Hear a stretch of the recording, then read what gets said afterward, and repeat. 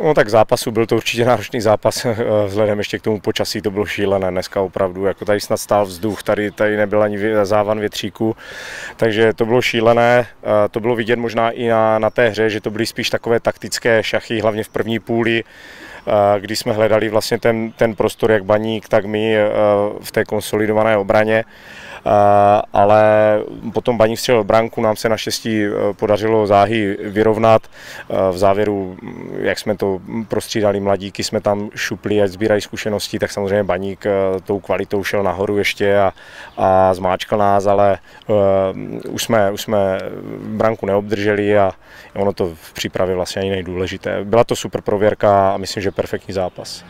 Ne, nemyslím si, že to je nějaký problém, prostě je to příprava, ty síly se snažíme rozložit a, a chceme hrát s kvalitníma soupeřema, takže to není problém.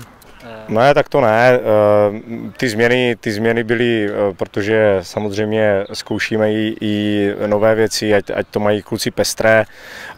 Dnes samozřejmě to počasí bylo fakt umorné.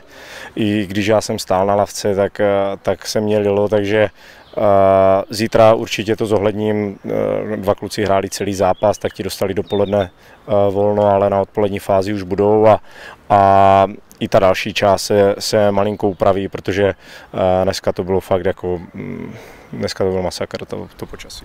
No, tak prověřit asi ne, protože Barta znám, známe ho tady všichni, ale vlastně on ještě nezasáhl do zápasu a, a teďka čekáme ještě na Adama Hlouška, aby, aby do té pozice naskočil, takže jsem to řešil v průběhu zápasu, měli jsme připravený Bart, kdyby, kdyby už to nešlo, tak že by šel dolů, ale, ale on je kondičně dobře na tom a ten zápas zvládl.